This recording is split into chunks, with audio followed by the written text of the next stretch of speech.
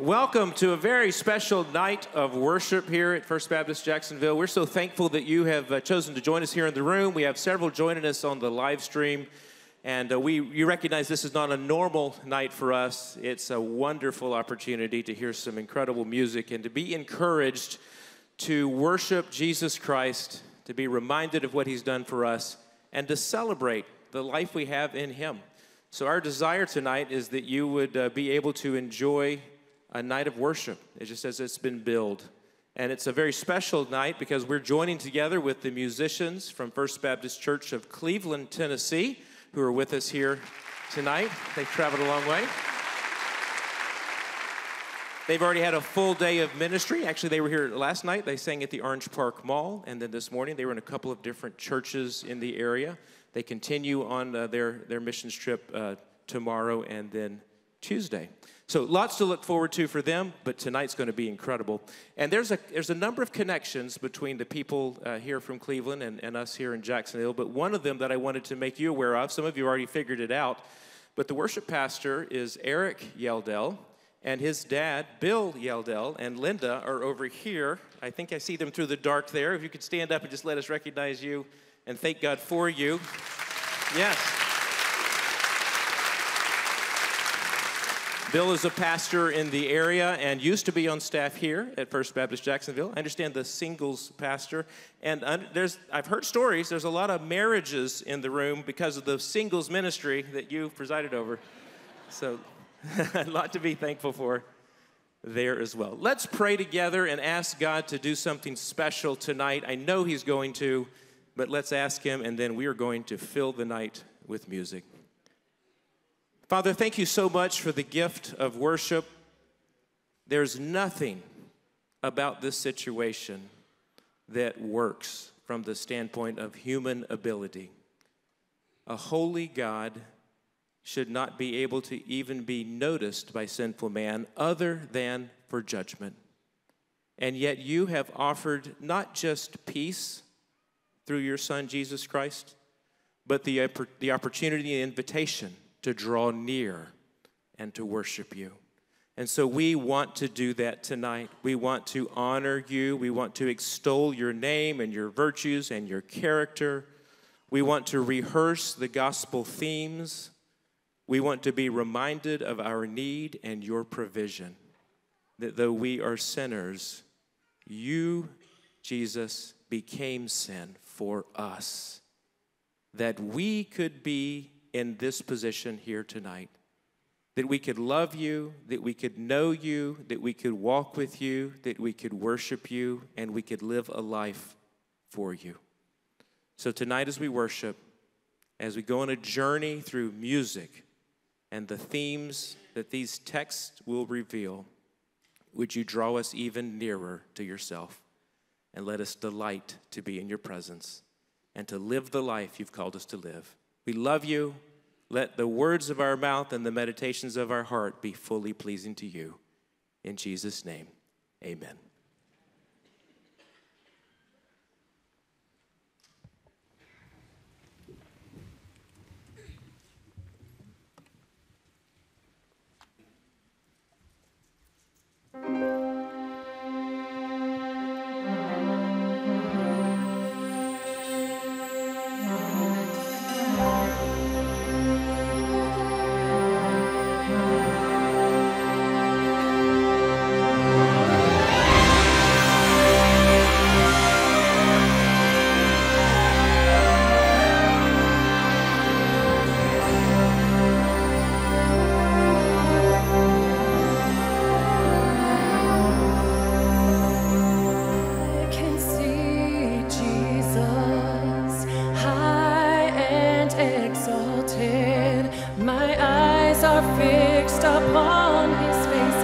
time.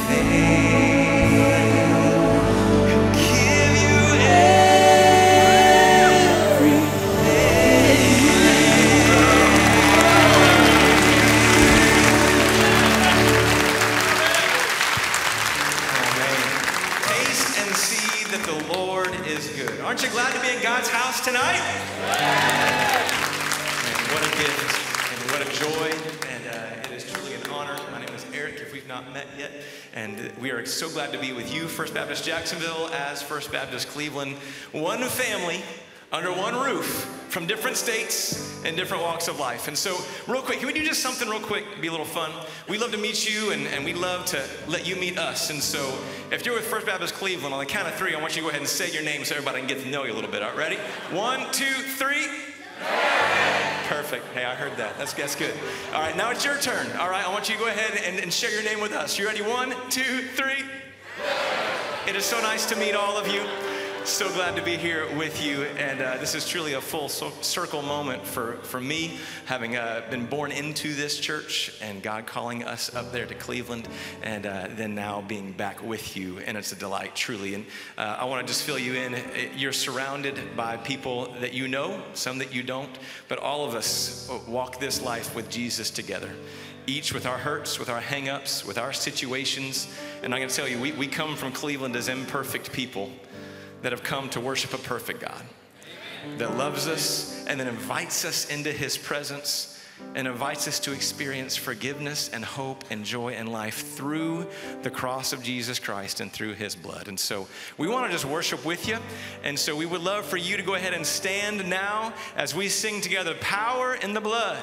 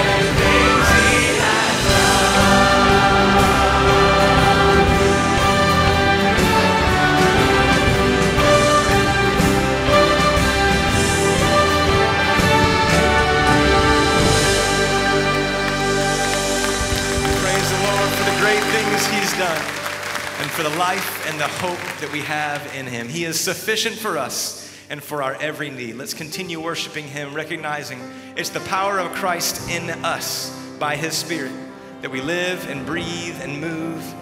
Let's sing together, yet not I, but through Christ in me.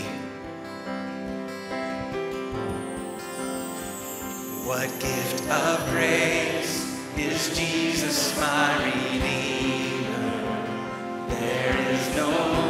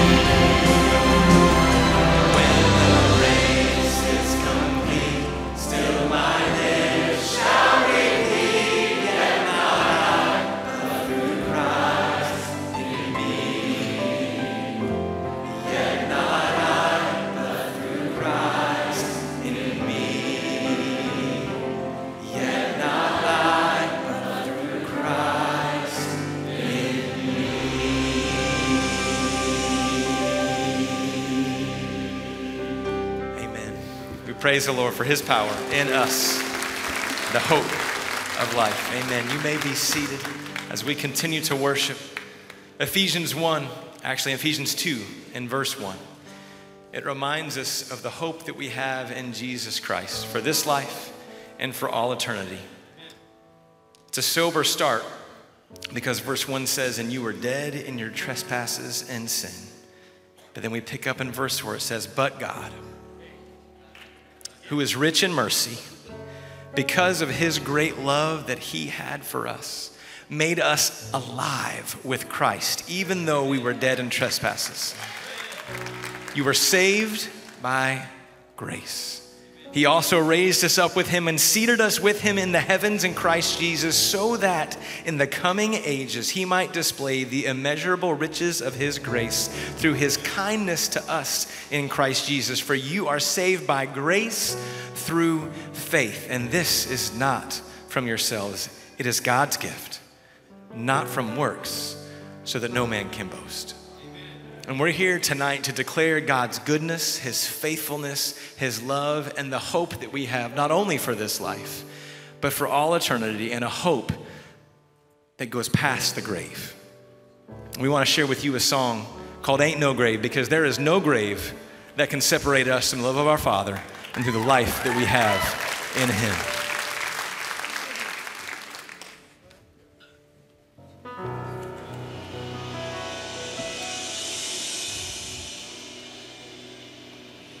Shame is a prison, It's cruel.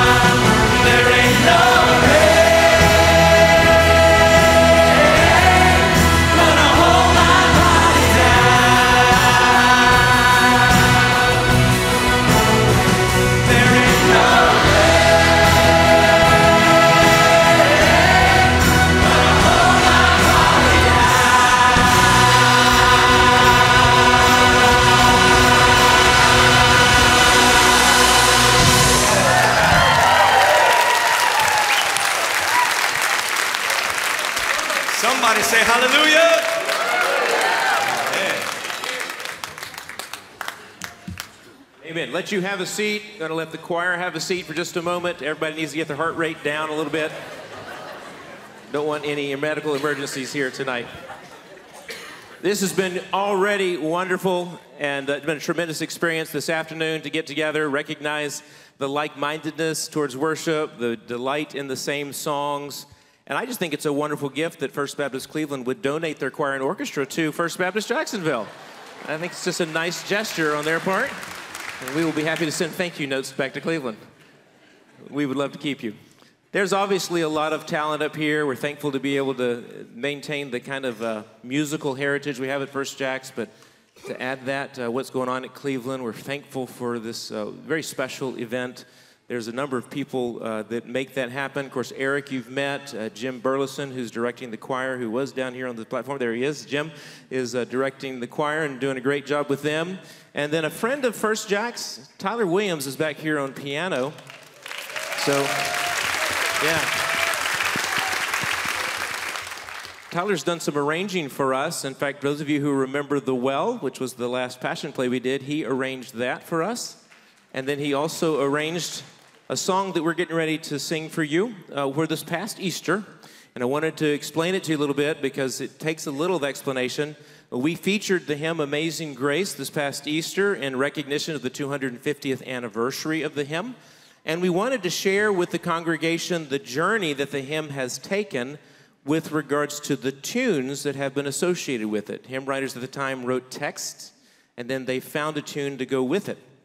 And Amazing Grace has had a number of different tunes that it's been set to until it was wed to the most famous tune we now know. It's called New Britain, but the one that you know of as Amazing Grace is the one that came along in the 19th century. But the hymn was written in the 18th century, and there were a lot of tunes that were used for it. And this next uh, arrangement helps you see the way that the, the text journeyed through time. And so it's called Amazing Grace Through the Ages.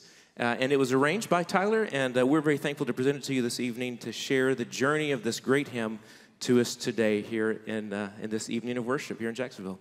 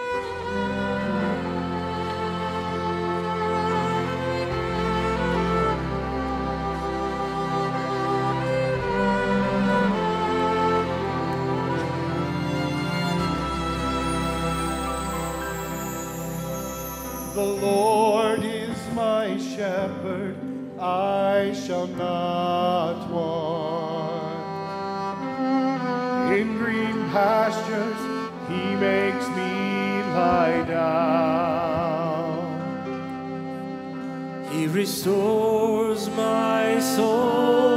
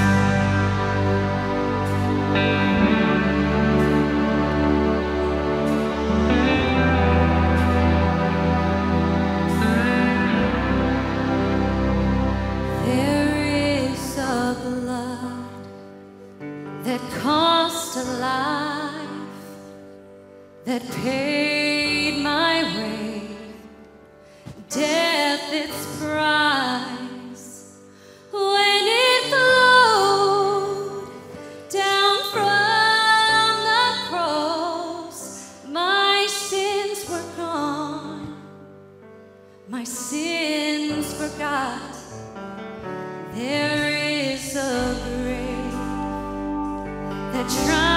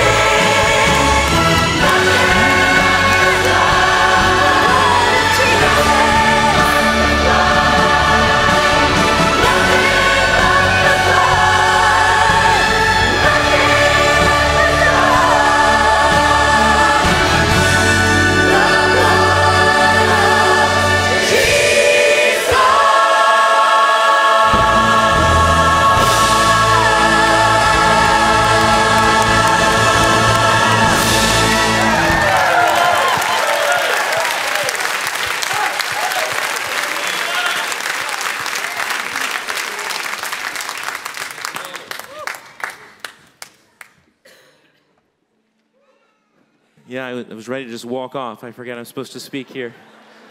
What, what more needs to be said than what you've just heard? It has been our delight. There's, there's another one coming. There's another one coming. It's been our delight to proclaim the simple, profound, old, old story that Jesus is alive. Yeah. And folks, I'm just telling you, it changes everything about your life. It changes everything about the way you think about life.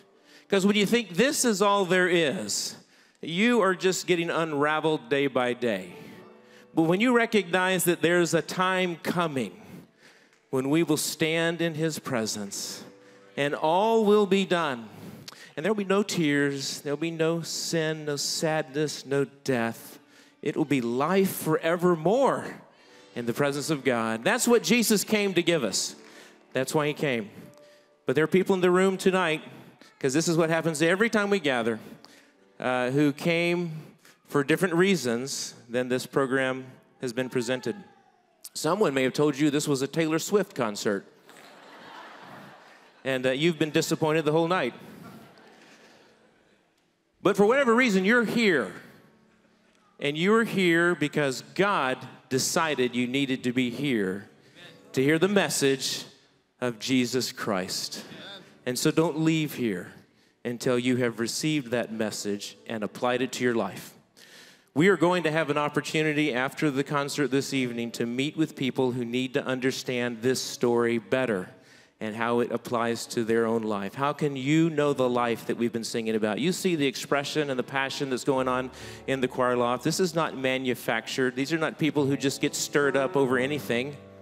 These are people who have recognized that they once were sinners and now are saved. They once, yeah. Once lost, now found. Once blind, and now they see. And it is their great desire, I know, because I've worked with them all afternoon. It's they, their great desire that everyone here sees the same thing they see the beauty of Jesus Christ and the gift of life that He offers. I'm going to pray before our final song, but I want to ask you to please respond tonight, whether you're here in the room or you're watching online. Please reach out to us here at First Jax. You can do so by an email or a text message or meeting us here at the front or meeting us at a, a guest station out in the lobby at Next Step Stations. We want to serve you by telling you the good news that you can have this life too. So let's pray. Father, thank you for the gift of the gospel story set to music. Thank you for the gift of being able to proclaim that He's alive and that by this blood we can be cleansed from our sin.